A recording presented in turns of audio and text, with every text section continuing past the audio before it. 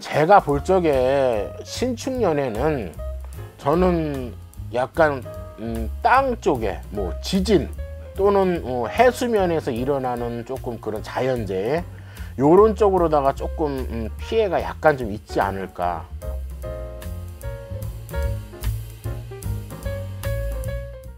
이번 시간 주제는 네. 2021년 대한민국 구군이라는 주제인데 음, 음. 사실 지금 구군하면 제일 먼저 떠오르는 게 어떤 거세요? 서민들 경제 그쵸 경제 좀뭐 다 좋아질 수는 없어요. 뭐 경제가 좋다고 빈부격차가 없어지는 것도 아니고 그러나 서민들이 그래도 아 이만하면 살만하다고 느끼려면은요 저는 신축년을 일단 넘어가야 된다고 봐요. 그러면 번외적인 질문으로 음, 음, 음. 혹시 선생님 또한 음, 음. 코로나의 피해를 좀 보고 계신가요? 음, 저는 아, 뭐 저는 뭐 대놓고 직접적인 피해라기보다도 간접적인 피해는 있죠. 자, 코로나 초창기에 정말 무서웠잖아요. 우리 대한민국 전 국민이 정말 무서웠잖아요. 그래서 뭐가 있었냐면 손님들이 예약을 하고 오신단 말이에요. 어, 저희 지금 100% 예약을 하셔야 돼요. 네. 어, 그래서 예약이 막 취소가 되고 그쵸? 혹은 어디서 이렇게 이렇게 일을 좀 와주십사 하고 연락을 했던 게 그분들도 일이 다 취소가 된 거야. 왜냐면 그때는 너무 무서웠어.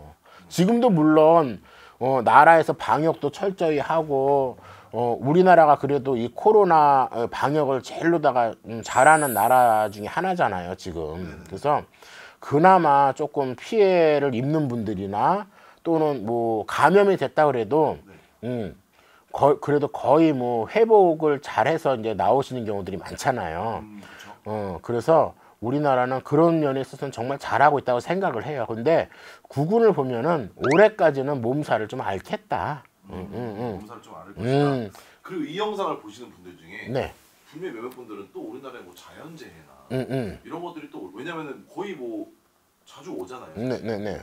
물로도 오거나 아니면 불, 그렇죠. 지진 네. 이런 걸로 오는데 그런 또 큰 사건이 있을 수 있을까요? 없다고 장담은 못 드리는데 자 우리가 몇 년 전에 강원도 쪽에 이렇게 산불이 계속 많이 났었잖아요 연달아서. 그리고 어, 예를 들어서 이제 경자년에는 물에 대한 피해 수해가 나서 뭐 갑자기 막 제방이 터지고 이래서 뭐 동네나 뭐 일대가 막 수해 피해를 봐서 피해 입으시고 가슴 아픈 분들이 많을 거예요 아마. 근데 제가 볼 적에 신축년에는 음 저는 약간 음, 땅 쪽에 뭐 지진 또는 어, 해수면에서 일어나는 조금 그런 자연재해 요런 쪽으로다가 조금 음, 피해가 약간 좀 있지 않을까. 어 요런 현상이 오지 않을까. 어, 지진 쪽으로 음, 또는 땅에 조금 기운이 약간 바뀔 수도 있기 때문에 신축년에는 음, 그나마 소띠에 눌러주기 때문에 큰 피해는 없었으면 좋겠어요. 저도 그래서 근데 아마 어 제가 볼 때는 약간 그런 쪽으로다가 조금 피해가 경미하게 오지 않을까. 불단속을 올해는 잘해야 될 거예요 아마. 어, 제 느낌에는 불단속을 올해는 조금 잘했으면 좋겠다. 이런 말씀이 나오네. 어, 근데 그 불이 어느 불인 줄 모르지. 음. 그렇죠 사실 응, 진짜 어디서 뭐 대규모 화재가 날지. 근데 아마 제가 볼 적에는 불단속을 좀 잘하면 좋지 않을까.